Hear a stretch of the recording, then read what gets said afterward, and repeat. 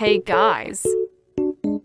Today, I'm going to talk about a loved Roblox game that got deleted for copyright.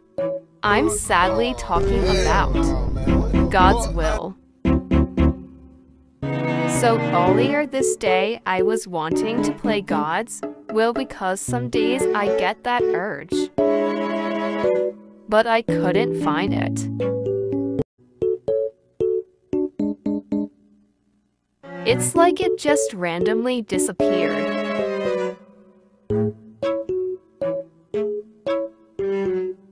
And I went to this game who looked like the game, but it wasn't because the side pick was not the same. I'm like, there's no way that they took it down right. I joined a ripoff game where I found out it got deleted because someone told me. So I'm just upset. I mean, why would they get mad? The game literally has been out for less than a month.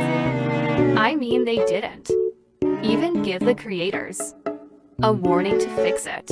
I mean, IDK what goes on in the Roblox headquarters or wherever they make their rules.